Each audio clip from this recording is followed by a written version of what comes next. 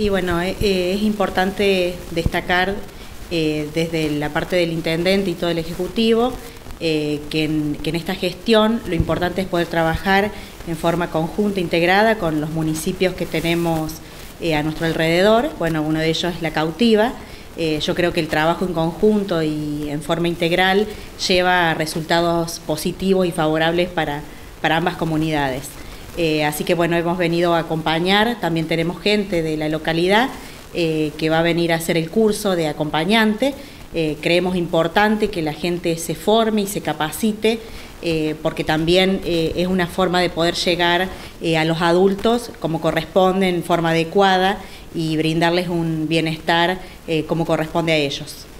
La, función de los intendentes, vuelvo a repetir, tanto de, de aquí de la cautiva como de Maquena, han estado en Buenos Aires han hecho mucha gestión para lograr esto, me decía Cristina precisamente, la licenciada, en la cual este, es bueno, es bueno que se gestione este tipo de, cosas, que, son interesantes para, para la sociedad. Sí, por supuesto. Eh, esto nuevamente lo vuelvo a repetir, es destacar, está dentro del proyecto de gestión, esta mirada hacia los adultos mayores. Eh, y en base a eso se está trabajando, ya desde el año pasado se comenzó y se van a seguir haciendo proyectos y fortaleciendo este espacio, así que bueno, eh, es importante esta mirada hacia los adultos, eh, que, la que en esta población lo venimos trabajando.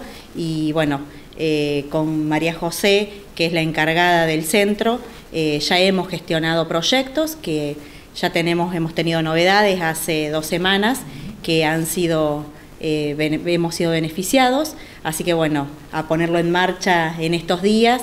Em, con respecto a eso, el objetivo nuestro del proyecto que presentamos era puntualmente em, crear un espacio de una sala de cine para los adultos dentro del centro. Así que bueno, eh, yo creo que es un proyecto que, que lo veníamos pensando, ambicioso y bueno, eh, gracias a Dios lo aprobaron y lo vamos a poner en práctica en estos días. Bueno, muy lindo, muy lindo esto porque, eh, licenciada, creo que más allá de que ustedes se dediquen, ¿cuánto nos enseñan los abuelos, ¿no? Eh, las personas mayores? Porque también nos enseñan. Así que bueno, precisamente los trabajos que están haciendo son maravillosos, lo hemos estado viviendo también hoy en cautiva, así que bueno, me gustaría que se explaye un poquito más con respecto al trabajo suyo. Bueno, yo estoy a cargo, como decíamos anteriormente, eh, de la dirección de este centro de adultos. Este centro tiene em, aproximadamente 50 personas, ¿sí? Eh, a los cuales, este, con las cuales compartimos diferentes actividades.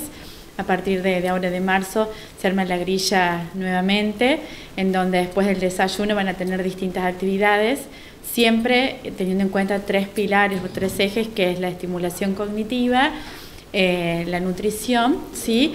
Y este, todo lo que hace la actividad física. Así que bueno, todos nuestros talleres están armados en función a esos tres pilares. Y bueno, y hoy también con, acompañando las iniciativas de Cautiva, también un compromiso a la brevedad vamos a compartir este, interacciones entre, entre nuestro centro de adultos y el hogar de días de acá.